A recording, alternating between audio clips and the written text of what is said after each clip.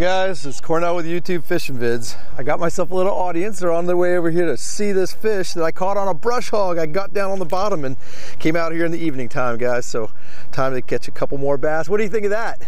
A bass? It's a bass. Isn't that cool? So I got some neighborhood guys over here, curious to see what kind of fish are in these ponds, and now we get to show them. So let me get this hook out because I got a good hook set. Not a big one, guys, but there we go. Texas rig. What do you think? Not a big Is that cool? Beautiful. Thanks, buddy. It's always great to have an audience. All right. So what we're doing, guys, we got our Shimano Zodias, just my medium heavy 7.2, 15 pound house fluorocarbon, just a baby brush hog and a green pumpkin red fleck, and I think I think that's just a 3 16 ounce tungsten pegged. That's all it is. It's got a little bit of uh, garlic scent on it that I soaked up in the bag, and that didn't take long. So let's do some Texas rigs as the sun's dipping. Right next to me, is the black whopper plopper. It's cold. I'm freezing, guys. I should have brought a fleece or maybe even put on some jeans, but let's get some more bass.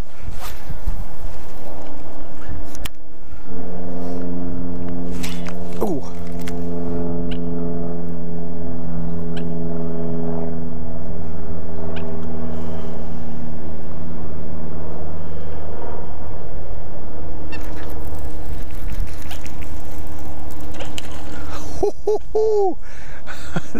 They're, chasing it in. I got bit and I had one chasing all the way in, even though it looked like that. So I think I found a little spot. There's a little uh, aerator right out there, no doubt. It's still windy, guys. Man, I'm telling you, it's it's rough out here conditions wise, but it's gonna get warmer during the week. That was two casts back to back. I had them coming after it. Here comes cast number three. Let's see how stacked they are right by this little aerator.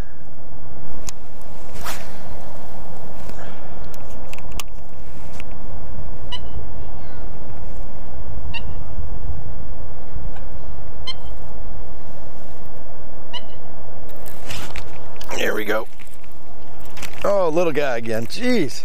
Oh, he got off. That's like four casts, guys. Four casts, one fish, and three misses. So let's keep going. Yeah, that one got away.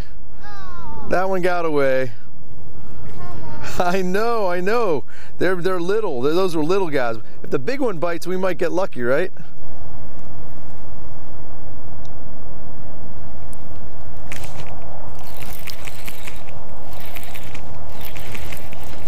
Another little dink. That's all right. That's two fish and just a handful of casts. Come here. Still got the numbers. Just haven't gotten the size yet. That Texas rig deals the ticket. All right, let's keep going.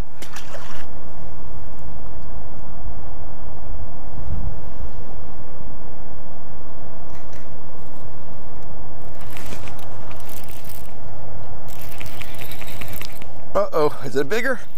I think it's a little bigger bass, guys, finally. Let's see. Yep, there's a bigger one, thank goodness. Geez, a little farther out. Let's see what we got. Stay buttoned. Yeah, that's a better fish.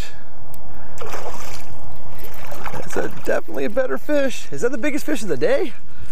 Even after all that work I did on the swim baits, the spinner baits, and the lipless cranks. That's a fat, that's one of the fatter bass of the day right there, guys. Texas rig all day long. There you go. All right, cool. All right, there's three bass. I think it's time to change up and get a new brush hog on here. This one's torn up after three fish and like three or four misses. There it is, the baby brush hog, green pumpkin, red. Take a whiff of those. They've got some garlic scent. I've already soaked them in some Jackson juice, so they've got plenty of scent on them.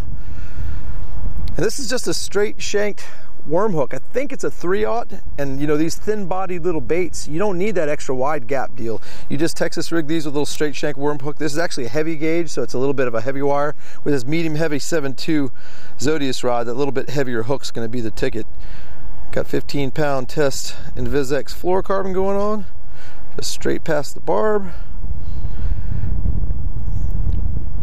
Right over the eye and right towards the back. I'm not even going to go perpendicular into the bait. I'm going to actually go into this bait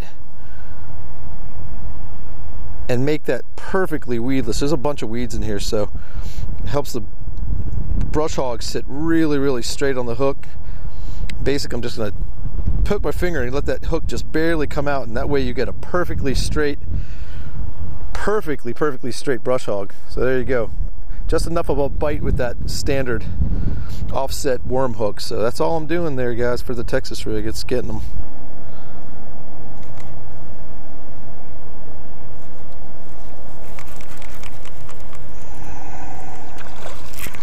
right there, the right there as I swam it back in. Another one of the bigger fish of the trip, guys.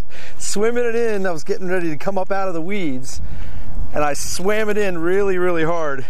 And there we go, another fish on the Texas rig. I wasn't working it like a Texas rig. I was swimming a baby brush hog. And there it is, guys. That's awesome. How cool is that? Awesome. Baby brush hog and the beautiful sunset. Guys, look look at this sunset. Is that not the most gorgeous scene ever? Florida all day long, guys.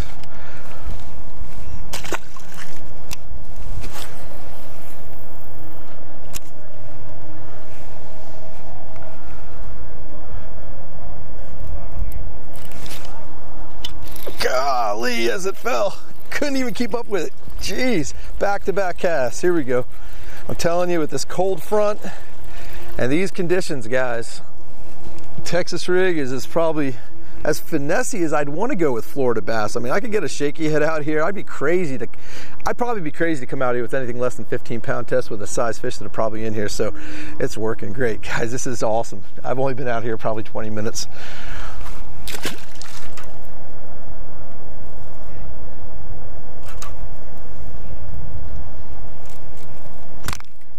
Oh my God, right there. Big one, guys. Got the big one. Got the big one. Let's see if we can get him in here. I got him in here. I got the big one, guys. At least the big one of the at least the big one of the day. There it is. I knew there were some big ones in here. I just had to hang in there again in that beautiful, beautiful sunset. Brush hog, baby brush hog. Guys, this has been an incredible trip. I've only been here three days. There we go.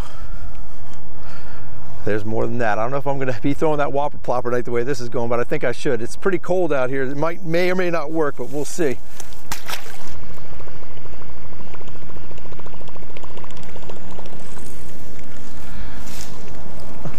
All right, folks, I tried to get you that whopper plopper fish, but as you can see, I got greedy with my light again. It's way dark, and I barely can imagine you could even see me out here. So, guys, I'm going to call it Texas rig baby brush hog. That was uh, the way to go on this cold front. Crazy. I'm freezing out here. It's actually getting really, really cold. It's probably in the low 60s right now. It's coming back though. I'm going to get those 80s here shortly. The 80s will be back tomorrow all the way through the end of the week. This warm up will happen. I'm sure it's going to get hot and heavy out here on the uh, on the little community ponds, golf course ponds. So, guys, as always, I appreciate you joining me. As always, appreciate you subscribing. Until we meet again, over and out.